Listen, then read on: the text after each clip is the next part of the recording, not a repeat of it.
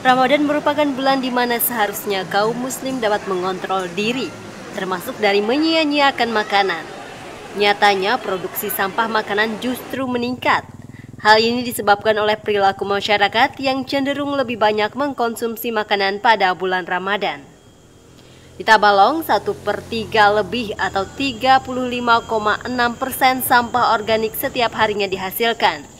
Sedangkan sisanya adalah sampah anorganik seperti sampah plastik, kertas, logam, dan kaca. Kepala Dinas Lingkungan Hidup Tabalong, Rawi Rawatianes mengatakan, sampah organik merupakan jenis sampah yang paling banyak diproduksi di Tabalong, yaitu sebesar 17,6 ton per hari.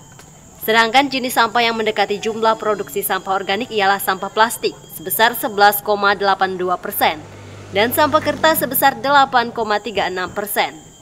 Yang pasti gini, secara kasat mata produksi sampah di bulan Ramadan itu iya, karena ya. apa? Tingkat konsumtif masyarakat kita boleh dibilang dua kali lipat. Hmm, ya. Nah, kemarin ditanyain kayak apa bu penanganannya? Kalau kami ini karena itu sudah dimandatkan ke kami, kami akan berupaya maksimal untuk melakukan penanganannya. Untuk diketahui, sampah organik yang tidak dikelola akan menimbulkan bau yang tidak sedap. Dan jika dikelola dengan baik dan benar, sampah organik dapat dimanfaatkan untuk pupuk kompos dan bisa dijadikan tambahan untuk pakan ternak. Syarif Hidayat, TV Tabalong melaporkan.